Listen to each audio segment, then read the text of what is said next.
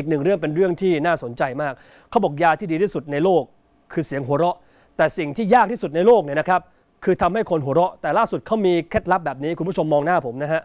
กล้องไม่ต้องไปไหนนะฮะเขาบอกนี่ฮะคุณผู้ชมเดินมาใกล้ๆนะฮะขอโทษนะฮะแล้วก็ทำหน้าแบบฮาๆหน้าฮาๆแบบนี้คุณผู้ชมครับเขาบอกว่าถ้าคุณผู้ชมยอมทำเนี่ยนะฮะจะสร้างเสียงหัวเราะได้แน่นอน และเสียงหัวเราะนะครับกับการทำหน้าตลก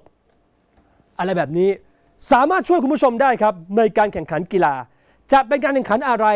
แล้วหน้าคนนั้นเขาบอกคนแข่งเป็นอาจารย์ครับ การแข่งขันชักเขย่อที่ประเทศจีนฮะหน้าหาแบบนี้ทำให้ทีมมีชัยชนะนี่คุณผู้ชมฮะการแข่งขันชักเขย่อครับ อาจารย์คนนี้ชื่อหยูหยางนะครับเขาบอกว่าทีมกำลังกำลังชักเขย่อแพ้อยู่ครับ เลยใช้กลยุทธ์ทำหน้าตลกนะครับทำหน้าบ้าๆแบบนี้ครับ แล้วปรากฏว่าผลต่อจิตวิทยามีสูงครับ คู่แข่งที่กำลังลากเชือกอยู่หัวเราะครับ พอลากพอหัวเราะเสร็จ หัวเราะเยอะครับ หมดแรงนะฮะทีมของอาจารย์อยู่ก็เลยชนะไปครับ นี่คือสูตรลับนะครับ เทอมเนอร์บ้าๆแบบนี้ครับเออเออเนี่ยนะฮะเขาบอกว่าฝั่งตรงข้ามนี่ โอ้โห หัวเราะ หัวเราะเสร็จเขาบอกหัวเราะจนหมดแรงครับ หัวเราะจนหมดแรงก็เลยแพ้นะครับ ก็น่าสนใจนะฮะ แต่ถ้าเกิดผมเป็นโค้ชฝั่งที่แพ้